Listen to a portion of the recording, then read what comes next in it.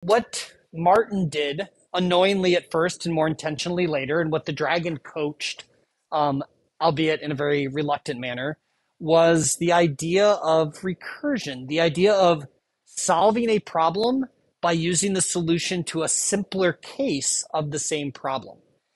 So, for the first story we read, um, the dragon didn't scan through the whole list because that would be way too much work. The dragon simply stated if the first element in the list was odd or not. The first number was odd or not. Um, and in the second case, the dragon didn't give him the answer to 5 factorial. Rather, the dragon just said that the answer to 5 factorial was 5 times the answer to 4 factorial. Okay. Um, and then finally, with the loaf of bread, the dragon didn't try to count all the slices in his loaf of bread. Rather, he just um, sliced off one slice um, and then knew he just needed to add one to the number of slices that the dragon he dreamt about had.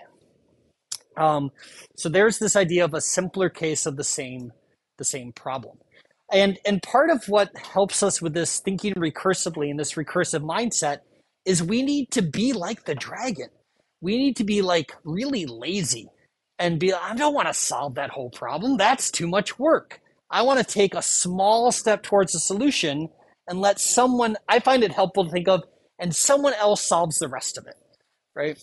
Um, I don't need to solve 5 factorial someone else can solve 4 factorial, and I'll just multiply that answer by 5. Okay? Here's a couple things that all recursive algorithms need, and the three examples we just read about have them as well. You have to have a terminating case. Now, this is true of all algorithms, not just recursive algorithms. If you think back to last semester, we said all algorithms need to finish. We had the example with like a recipe for um, baking chocolate chip cookies if you never actually get the chocolate chip cookies, it's not a very good recipe. Um, so we have to have a terminating case, whether that's an empty list, um, whether that's the definition that zero factorial is one, um, or whether that's an empty loaf with no slices in it, whatever it happens to be. In addition, the other requirement is that these recursive calls that we're going to be making have to actually simplify the problem in some way. If we're not working our way towards a solution, um, then our algorithm isn't going to end. So these are the two requirements that we have to have. One thing I want to be upfront with, because very often when we learn a new concept or a new skill or a new tool, we want to use it everywhere. Um, we never need to use recursion. Okay. Um, we never solve a problem recursively because we have to. You can always solve problems iteratively or mathematically. In fact, our recursive solution may actually be a little bit slower than a more traditional solution. The reason why we choose to solve problems recursively is because once we are comfortable with thinking recursively, and once we have this recursive mindset like the dragon, um, it may be easier for us to conceptualize how to solve the problem recursively um, and certainly be easier for us to code. That's why we solve them recursively. So let's take a look at this together. Um, I'm going to open up my Blue. Oh, I do have my BlueJ project open. You should have your BlueJ project open. We're going to write one method together today. And a little bit of a disclaimer up front. I always struggle at the beginning of this unit because I want us to do a very, very simple example of recursion together. But very simple examples of recursion aren't necessarily really good fits conceptually for recursion. So this example we're about to do is going to have all the key elements. Um, I think it's it's it, it's a good place to start. But if you go through this and you're like, I don't think this is naturally recursive, I don't think so either. Um, but we will find more naturally recursive algorithms once we get a little bit more comfortable with the idea of writing a recursive method. So let's make a new class and we're going to call it string reverse.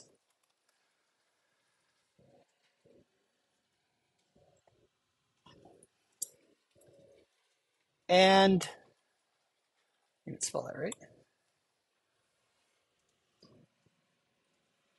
And you can update your name and the date if you want. And we're just going to add a single static method. Oops.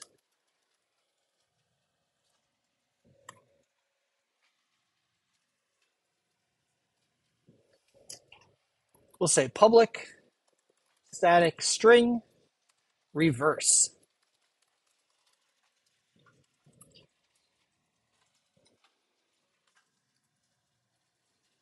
Give me one second to fix this.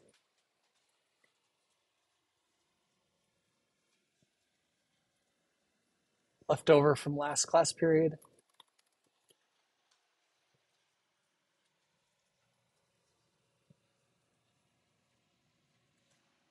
All right. Public static string.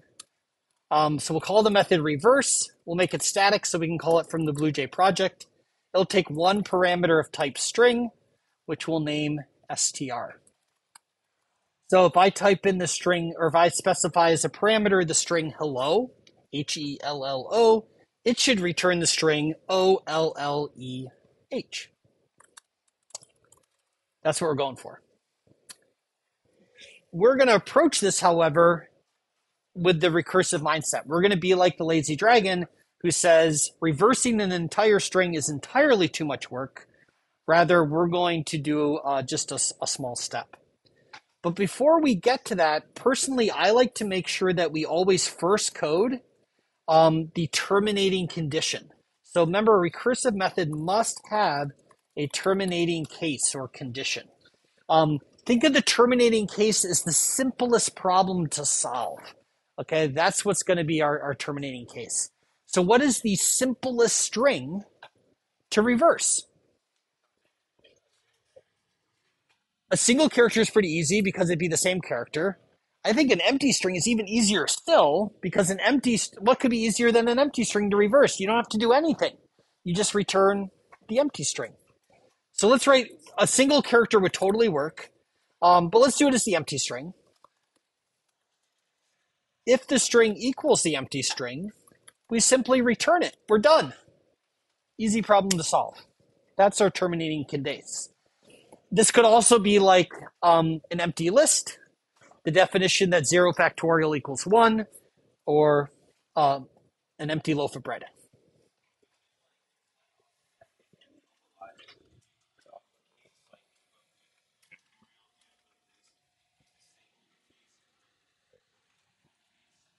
You, you certainly could. Yeah. You're to save yourself like one recursive call, so it doesn't really matter, but yeah, you could.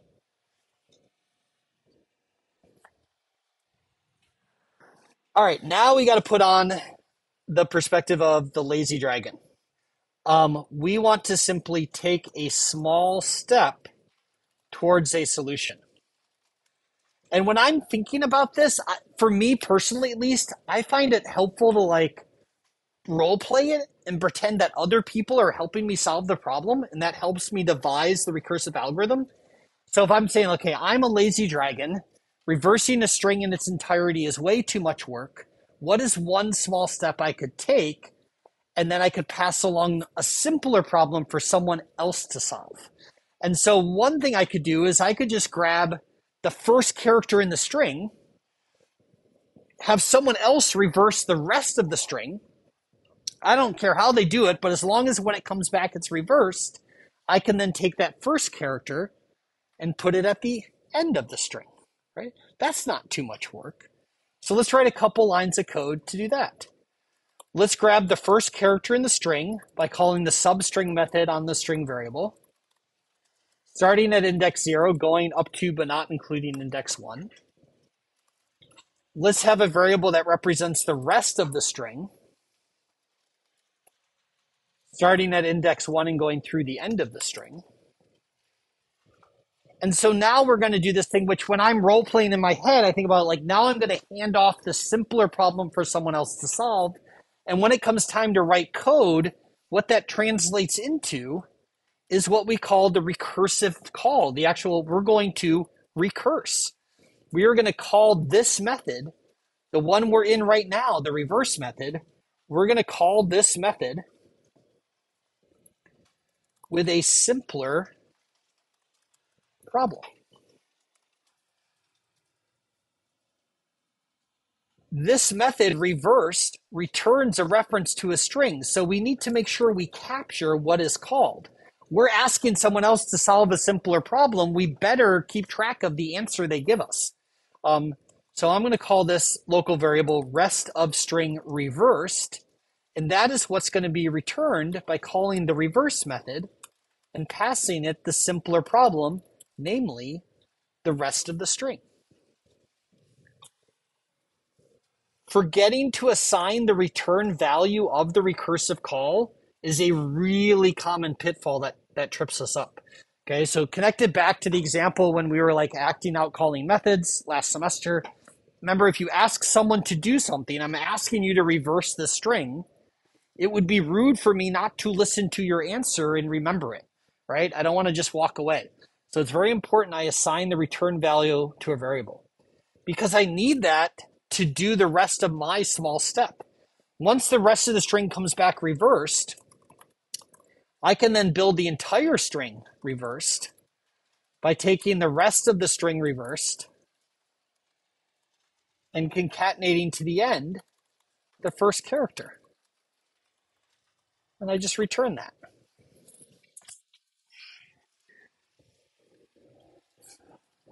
This might seem unsettling, but sometimes when coding a recursive method, you might not be quite sure if it's going to work. Um, and that's that's okay. Uh, and here's here's like my advice for that. You might not really yet appreciate like why passing off how this passing off the simpler problem is actually going to get reversed.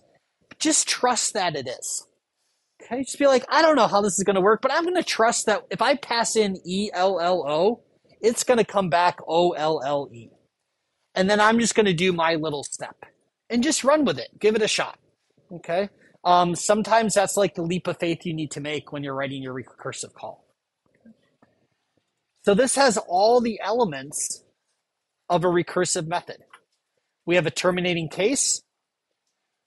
Our small step that we take is actually a little bit complicated. We have a little bit we have to do first. We got to grab that first character. And then we have here's the simpler problem that someone else is going to solve, namely, we're going to call the method recursively. And when that answer comes back, we're going to do something with it to get the answer we're looking for.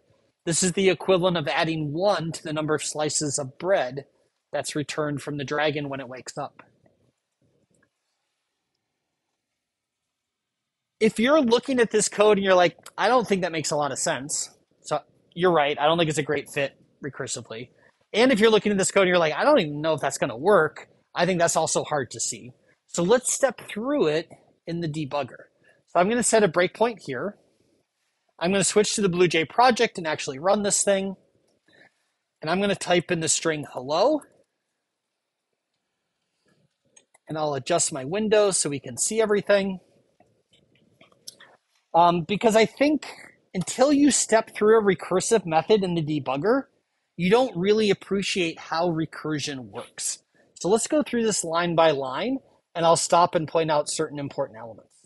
All right, if the string equals the empty string, it does not. We're starting with the string hello. All right, so we're going to grab the first character. It's an H. We're going to get the rest of the string. It's E-L-L-O. No problem. That's pretty straightforward. Now we're going to do something strange. We're in the reverse method, and we're going to call the reverse method but we are passing along a simpler problem. We started with the string hello. We're recursively calling it with the string ELLO. It's got one less character. So when I hit step into, I'm now back up at the top of the reverse method. But the string is now different. The string is now ELLO. It's not the empty string. I can grab the first character, which is an E, I can grab the rest of the string, which is LLO, and I can call the reverse method again. And I can step into that, and now I jump back up here again, but the string is different. And I can step through this, and I have the first character is the L, and the rest of the string is LO. What I want to highlight here is something we haven't really looked at before in the BlueJ debugger, and that's this right here. It's called the call sequence. And in computer science, we usually call refer to it as the call stack. Um, this is what the dragon was alluding to when he said, I, I had gathered up a, a pretty big stack of dreams. He was making a connection to a call stack. Notice that reverse is in here three times. We've called the reverse method now three times. Each call has its own unique set of local variables. So the first call, the local vari- the string was hello and the first character was h. The second call, different string, different first character. The third call, different string, different first character. And in fact, the fact and in fact, the, that we have different local variables for each of these is a critical part that makes recursion work. If we were to instead try to use an instance variable to keep track of this information, it would not work at all. Because the whole point of an instance variable is that all methods share the same value for that variable. We actually need all methods to have different values for the same variable. So local variables are essential for recursive functions. And what that function returns, as we're going to see in a moment, is also essential. So let's keep stepping through. Um, the first string is now an L. The rest of the string is just the letter O. We call the recursive function. The first string is an O. Hey, the rest of the string is the empty string. We call the recursive function. Now the string actually equals the empty string, and we're about to return for the first time. So we've piled up a stack of one, two, three, four, five, six calls to reverse. And now we're going to start um, working our way back up, like the dragon recommended to Martin with the factorial problem. Sometimes this is called unwinding the call stack. Um, like we're working, we're, we're, we're popping each of these calls off as they return, working our way back to the final solution. So when we return from this call, we're going to return back to this invocation of reverse right on this highlighted green line. So if I hit step, sure enough, now we're back on this highlighted green line. There's one less call to reverse here. We're about to assign the return value to rest of string reversed, which is, if I make it a little wider, the empty string to which we will concatenate the first character at the end. There it is, the O.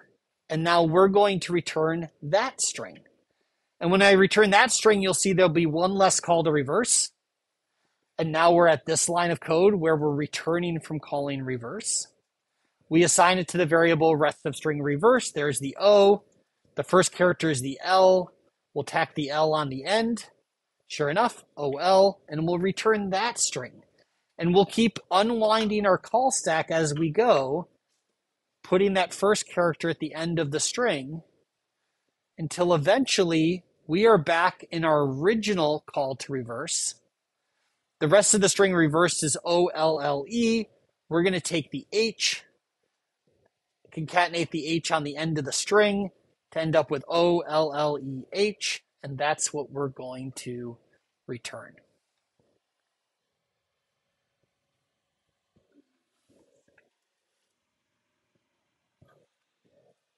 So it, it certainly does work and it highlights a lot of aspects of recursion, even if for now at least it seems a little awkward.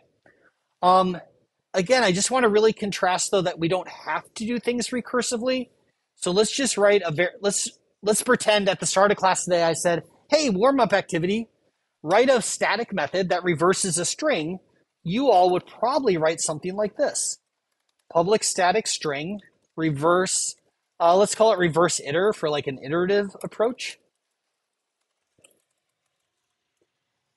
And you might have made a local variable where you keep track of the reverse string.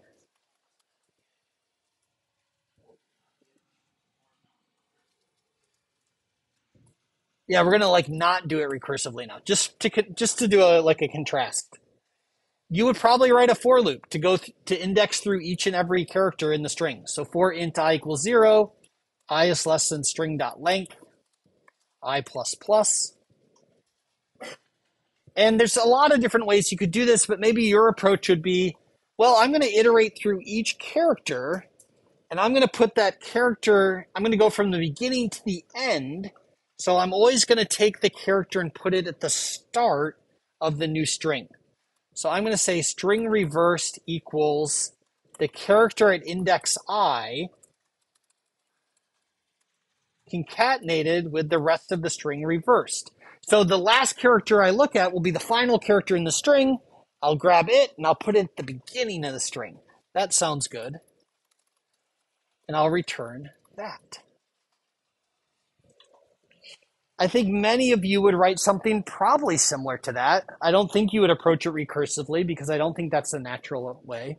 Um, this is relatively straightforward, uh, certainly more concise. It's going to be faster. Um, so in this particular case, I think using a for loop is probably the best approach for reversing a string. Um, but I wanted to show you how we can also do it recursively so we can start to get comfortable with this idea of having a terminating case, making a small step, making the recursive call.